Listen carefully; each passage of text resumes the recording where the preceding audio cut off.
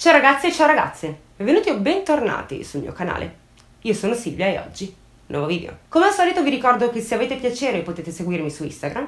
Detto questo, andiamoci dentro col video. Tantissimi di voi mi hanno chiesto, in questi mesi, sotto i commenti dei miei video, di parlarvi di lei, Leonardo Cianciulli, detta anche la saponificatrice di Correggio. È passata alla storia per aver commesso tre crimini, compiuti per davvero con molta freddezza ma non solo. Leonardo è passata alla storia soprattutto per le sue dichiarazioni fatte in tribunale e per il suo memoriale, chiamato Confessione di un'anima amareggiata. Questo libro ha circa 700 pagine ed è una sorta di autobiografia di Leonarda, che per l'appunto ha scritto a seguito della sua condanna, stampando la sua storia nero su bianco e riportando in modo davvero molto fedele la descrizione dei crimini da lei compiuti, a dirla tutta, esagerando anche non poco. Processo a parte, quel memoriale si basa davvero sulla vita della saponificatrice di Correggio, vista e raccontata però dalla sua prospettiva. Questa è una cosa che bisogna sottolineare. Leonardo ha colpito tra il 1939 e il 1940. Inoltre, è finita in manicomio. Di conseguenza in questo racconto ci saranno sicuramente dei riferimenti strampalati, riferimenti che però per Leonarda erano del tutto normali. Oppure Leonarda era solo una gran contaballe? Questo non possiamo saperlo, ma immergiamoci nella storia che Leonarda Cianciulli ha voluto raccontare scrivendo di sé e del suo passato. Leonarda è nata a Montella di Avellino nel 1893. Sostiene di venire concepita a seguito di una violenza subita da Emilia di Nolfi. Secondo Leonarda, Emilia è costretta a sposare l'uomo che le ha fatto del male e odierà sempre quella creatura. Nata da un gesto così triste, deplorevole, Leonarda sostiene che sua madre continui a provare rancore anche dopo essere riuscita a divorziare con questo uomo, per poi risposarsi con Mariano Cianciulli, da cui avrà altri figli. Leonarda è debole, malaticcia ed epilettica. Si presume subisca maltrattamenti da sua madre, mentre i suoi fratelli la trattano male e la isolano completamente. Leonarda quindi tenta per due volte di togliersi la vita impiccandosi, ma entrambi i tentativi non vanno come lei vorrebbe. La prima volta infatti sostiene che l'abbiano soccorsa in tempo per salvarla, mentre la seconda volta le si spezza la fune. Leonarda sostiene che sua madre le ha chiaramente fatto capire quanto le dispiacesse vederla ancora viva. Questo dice Leonarda. Il punto è che la verità è un'altra. Leonarda è l'ultima figlia arrivata di una famiglia di nobiluomini di Montella. Suo padre si chiama Mariano Cianciulli ed è un uomo di campagna, adorabile, affettuoso, oltre ad essere generosissimo. Mentre sua madre in realtà si chiama Serafina di Nolfi. È una nobildonna caparbia, tenace e fredda. Serafina suona l'arpa ed è rimasta vedova da giovanissima. Poi ha conosciuto Mariano e l'ha sposato. Leonardo in effetti non cresce benissimo, pare sia una bambina fragile e malaticcia. Probabilmente soffre di attacchi di epilessia, ma nonostante questo in famiglia regna comunque la serenità, fino a quando alla porta di casa Cianciulli bussa la morte per portarsi via suo padre, Mariano. A questo punto Leonardo è destinata in sposa ad un suo cugino per volere di sua madre. Lei però si innamora di Raffaele Pansati, un impiegato nel comune di Laurea, in Basilicata. È il 1914 e Leonarda sposa Raffaele. La madre di Leonarda quindi la maledice, le augura di vivere una vita triste e infelice, vuota. Leonardo e Raffaele si trasferiscono a Lariano, un paesino dell'Alta Irpinia, sul quale nel 1930 si abbatte un terribile terremoto. Leonardo e Raffaele quindi cadono in miseria e si trasferiscono a Correggio, in Emilia-Romagna. Leonarda è ossessionata letteralmente dalla maledizione di sua madre, in quanto fin dal 1918 inizia la sua tragedia personale. Leonarda si è sposata con Raffaele ed è felice, ma nel 1918 la morte ecco che torna a bussare alla sua porta e si porta via la sua primogenita, Maria Antonietta. Passa poco tempo e tocca a Mario. Passano poche settimane e Leonarda è di nuovo in dolce attesa. Dopo dieci mesi nasce un'altra bambina, ma neanche lei sopravvive. Per Leonarda la morte è un qualcosa di concreto, di reale, con cui ha dovuto fare i conti fin da bambina. Ed è proprio in questo modo che secondo Leonarda la maledizione lanciatale da sua madre prende forma. La morte si porta via tutte le sue creature o quasi. Se ci pensiamo un attimo, questo periodo della vita di Leonarda è un continuo rimanere incinta, generare. Quello per lei appare un bisogno insormontabile, più di qualsiasi altra cosa. Infatti in tutto Leonarda ha avuto 17 gravidanze, senza contare gli aborti spontanei. Questo significa che Leonarda Cianciulli in 20 anni ha fatto una sola cosa, rimanere incinta. L'ultima nata, Norma, è del 1937. Di conseguenza, facendo due conti, Leonarda ha sempre avuto una creatura in pancia. Sempre. In ogni caso c'è da dire che la famiglia Pansardi a Correggio viene ben accolta. Vanno a vivere in un palazzo in via Cavour 11 e tutto sommato c'è da dire che Leonardo in qualche modo si ingegna iniziando un commercio di abiti usati. Grazie ai soldi ricavati da Leonarda e al rimborso danni per il terremoto, la coppia inizia di nuovo a star bene economicamente, tanto da potersi permettere una collaboratrice domestica. Però, nonostante tutto, Leonarda continua ad essere ossessionata da quella dannata maledizione di sua madre. E per di più, in questo caso, Leonarda si ricorda anche di altre due occasioni non troppo felici. Infatti, la donna si ricorda che anni addietro una gitana le ha fatto una terribile profezia, la cui prima parte recita ti mariterai, avrai figliolanza, ma tutti moriranno i figli tuoi. In un'altra occasione una zingara, leggendole la mano, le ha detto Vedo nella tua mano destra il carcere e nella tua mano sinistra il manicomio. Leonarda sta per avere un attacco isterico, non ce la fa più e quindi chiede l'intervento di una strega locale che secondo Leonarda riesce a smuovere qualcosa. Perché in seguito Leonarda riesce a salvare dalla tragica maledizione che le ha lanciato sua madre quattro figli ed è il destino la vita che Leonarda ha vissuto, che l'ha portata a diventare una madre disposta a togliere di mezzo chiunque provi a strapparle via quei quattro doni preziosi, ossia i suoi figli. Siamo nel 1937 e Giuseppe, il suo primogenito, è iscritto a lettere all'Università di Milano. Bernardo e Biagio invece frequentano il ginnasio, mentre Norma, la più piccola, va all'asilo dalle suore. La guerra è alle porte. E Leonarda riceve la cartolina col precetto di leva per Giuseppe. Leonarda ha davvero il terrore di perdere i suoi figli a causa della guerra. Leonarda non può certo impedire la partenza di Giuseppe, ma si ricorda di quella strega della zona che in qualche modo è riuscita a salvarle dei figli. E quindi anche Leonarda si butta a capofitto nella magia, in quanto la donna non può sopportare la perdita di un altro figlio, non ce la farebbe. Gli incubi la perseguitano tutte le notti, sono incubi in cui i suoi figli sono tutti in delle bare bianche, che poi vengono inghiottite dalla terra nera. Ecco perché la donna inizia a studiare e a leggere libri che parlano di chiromanzia, astronomia, scongiuri, fatture e per non farci mancare niente c'è anche lo spiritismo. Leonarda vuole apprendere tutto quanto sui sortilegi col fine di neutralizzarli e ben presto anche lei diventa una maga rinomata nella zona. Fa gli oroscopi, legge le carte e soprattutto ha delle amiche e ha delle donne sole che si recano al suo studio magico, che non è nient'altro che casa sua. Leonarda però non dimentica di fare le carte anche per se stessa, nella speranza di poter conoscere in qualche modo il destino di suo figlio Giuseppe. Arriva una notte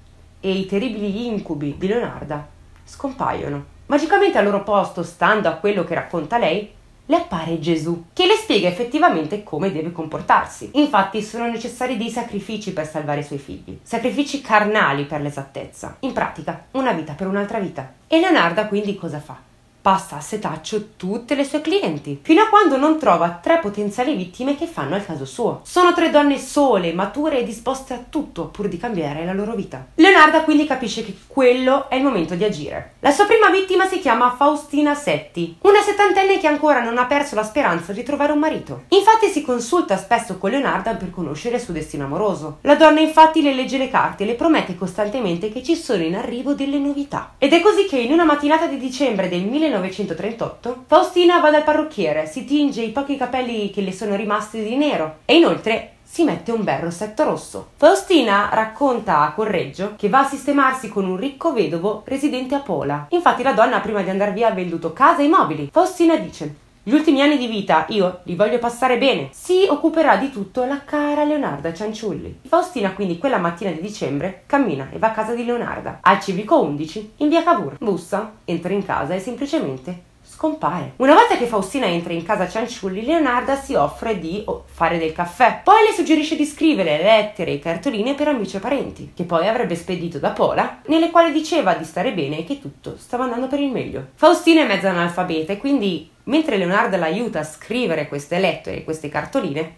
viene colpita. Faustina infatti non giunge mai a destinazione, non conosce alcun ricco signore. Leonardo Cianciulli la fa fuori, la trascina in uno stanzino dove la seziona, facendo cadere il sangue in un catino. Leonardo nel suo memoriale racconta che ha gettato dei pezzi di carne in una pentola, ha aggiunto 7 kg di soda caustica che aveva comprato per fare del sapone e ha rimescolato questa poltiglia per più e più volte. Quando effettivamente si forma una poltiglia vischiosa, Leonarda riempie alcuni secchi di quella poltiglia e poi li svuota nel pozzo. Per quanto riguarda il sangue nel catino, Leonarda sostiene che ha atteso si coagulasse per poi seccarlo al forno. A quel punto la donna lo ha macinato mescolandolo a farina, zucchero, cioccolato, latte e uova. Ci aggiunge anche un pizzico di margarina. Con quell'impasto Leonarda fa una grande quantità di pasticcini croccanti che offre alle signore che vengono in visita ma sostiene di averle mangiate anche lei con suo figlio Bernardo. Qualche giorno dopo Leonarda, per l'appunto, manda suo figlio Bernardo fino a Pola, col fine di imbucare le lettere della sua vittima, Faustina Setti, per farli giungere ai destinatari col timbro postale esatto. Inoltre, grazie al suo mercato, vende gli indumenti della donna. Passano alcuni anni e Leonarda Cianciulli riesce a manipolare anche Francesca Suavi, una donna che sogna di andare via da Correggio. Francesca non spera nel matrimonio e basterebbe trovare semplicemente un altro impiego. Leonarda le dice di averle trovato un impiego in un collegio femminile a Piacenza. Francesca Suavi è conosciuta in paese come la Clementina oppure la maestra, in quanto la donna aiuta una quindicina di ragazzetti a fare i compiti. Francesca è una donna di 50 anni,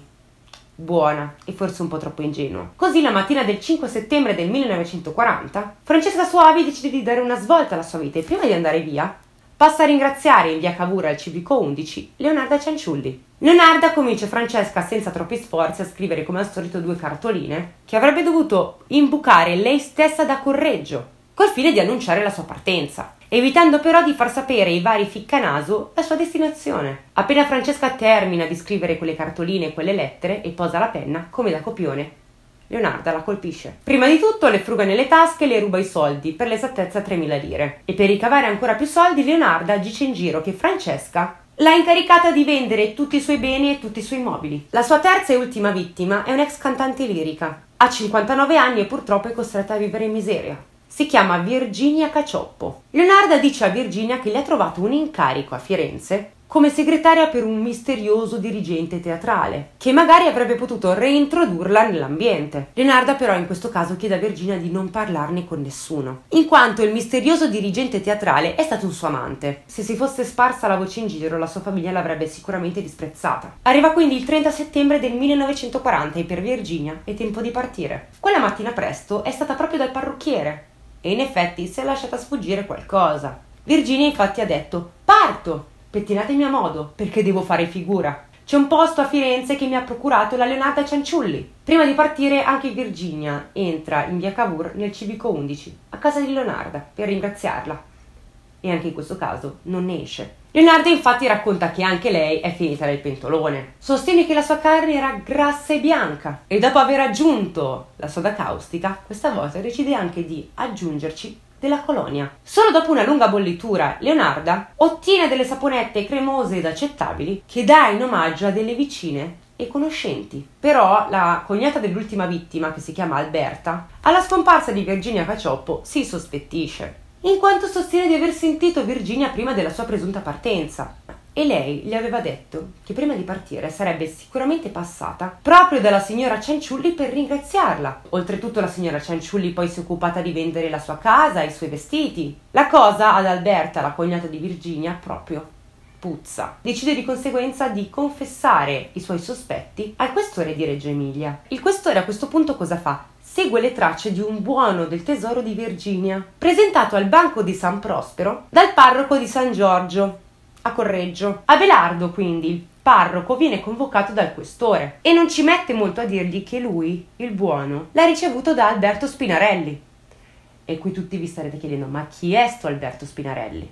Ebbene, un ennesimo amico di Leonardo Cianciulli. Alberto Spinarelli sostiene che quel buono del tesoro gliel'ha dato la Cianciulli per saldare un debito. Le tracce quindi, come immaginerete, conducono irrimediabilmente a Leonardo Cianciulli, la quale non ci mette poi così tanto a confessare i suoi tre crimini commessi. La verità però è che gli inquirenti non si spiegano come una donna anziana, bassa e corpulenta abbia potuto fare tutto quanto da sola senza l'aiuto di nessuno. Inizialmente le indagini si orientano sul figlio di Leonarda e il 6 giugno del 1941 gli inquirenti ispezionano il pozzo nero che si trova proprio a casa Cianciulli e lì dentro in effetti trovano un pezzo di cranio e poi una dentiera con ancora attaccati 14 denti. Leonarda quindi inizia a parlare con gli inquirenti, a confessare che si rendono conto di quanto la donna dia delle versioni davvero confuse. Leonarda lo fa apposta oppure è totalmente pazza. A questo punto l'autorità giudiziaria dispone per la richiesta di perizia psichiatrica su Leonarda Cianciulli, ovviamente prima che il processo abbia inizio. È agosto del 1941. Leonarda per farsi periziare viene spedita al sud Italia, arrivando dopo un lungo viaggio al manicomio criminale di Aversa. Leonardo a questo punto parla di squali di muri scrostati e anneriti e di squallide celle da cui provengono urla di ogni genere, risate assurde, grottesche, inquietanti. Il manicomio di Aversa per Leonardo è letteralmente l'inferno dei pazzi. Le guardie che la sorvegliano secondo lei sono proprio diavolesse. E poi c'è il capo di queste diavolesse, un luminare della scienza psichiatrica, il dottor Filippo Saporito. In un primo colloquio il dottore dice a Leonarda deve essere una lettrice di grandi romanzi gialli. Ditemi, qual è quello che vi ha guastato la testa? Leonarda risponde non sono stati libri gialli a insegnarmi, ma sono stati i libri classici Omero, Virgilio e anche la Bibbia, ad essere precisa il Nuovo Testamento. È proprio così che ho appreso come salvare i miei figli dalla morte certa. Sì, dottore, perché sa, sui miei figli pesa davvero un destino crudele. Essi infatti sono destinati a morire e probabilmente moriranno in guerra. Filippo Saporito a questo punto ci rimane di sasso e riconosce che ci sono delle problematiche abbastanza evidenti Leonarda. Alla fine, durante il processo del 1946, Bernardo, suo figlio, dice di aver spedito quelle lettere senza però sapere la verità che si celava dietro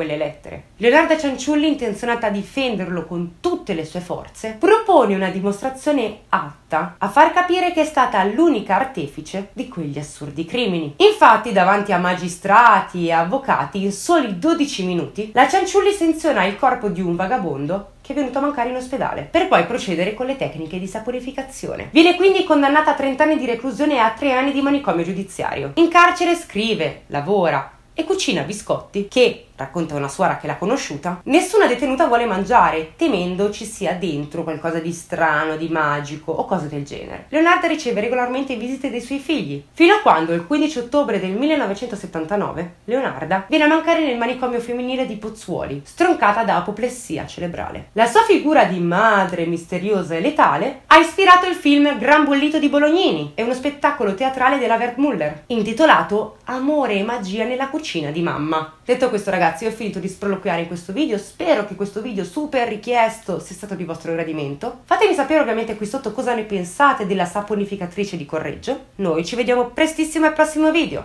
Io vi mando un bacione e mi raccomando continuate a mangiare le verdure che continuano a far bene. Ciao ragazzi e ciao ragazze.